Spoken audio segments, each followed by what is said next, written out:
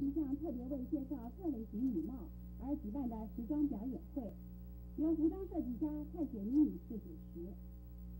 她认为妇女们配合服装戴各种形式的女帽，更能表现女性高雅的风度。表演会中介绍了少女们在海滩或郊游戴的遮阳帽和头巾，外出穿戴的同花色的帽子，